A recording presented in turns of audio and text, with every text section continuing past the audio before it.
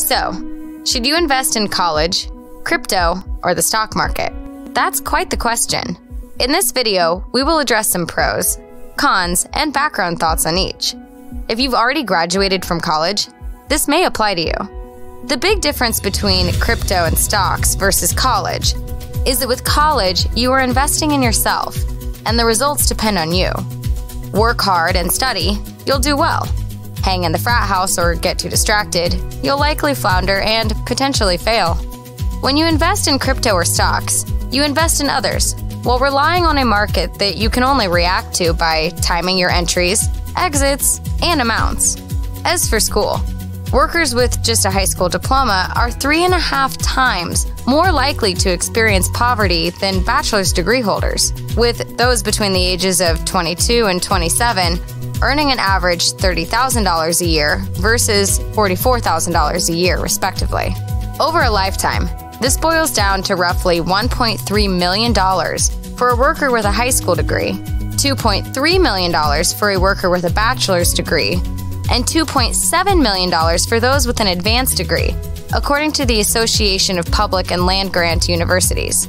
An important note for our current climate is that in economic downturns, 15.7% of young workers with high school degrees found themselves jobless, as opposed to just 6.8% of those with bachelor's degrees. Of course, it's never that simple. Taking a degree in art is completely different from a degree in medicine or law, which can cost hundreds of thousands of dollars. Student loans are a perennial source of grief to millions of Americans. Many struggle to find the money for food, books, housing, tuition, and all the other expenses. When investing in the stock market, instead of colleges, you choose companies.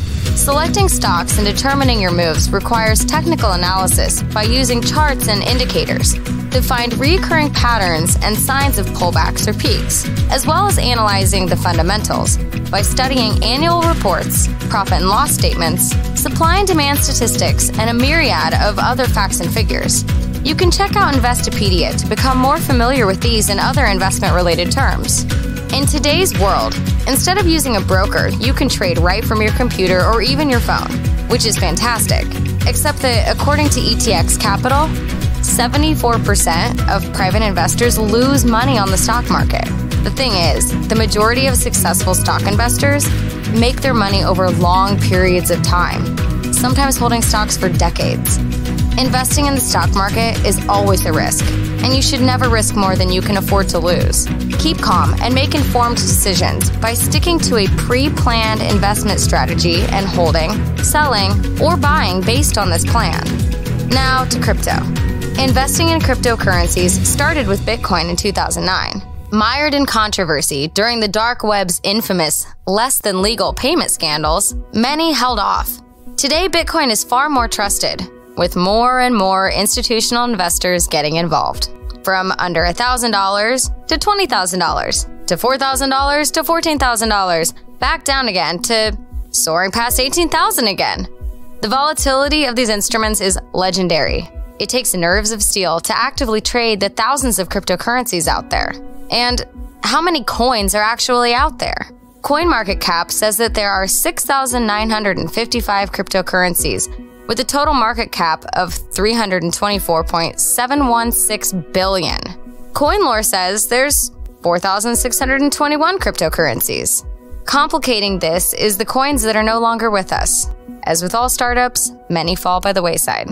Making sense of each coin's blockchain and hash rates, their intended uses and current limitations, along with the terms and the technologies, are a challenge for anyone not yet well versed in digital currencies. In the foreseeable future, Bitcoin will be the standard bearer for cryptos and the marker by which others are valued.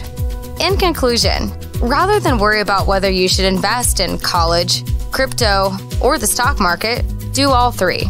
After all, we are not beginners forever, and we never stop learning.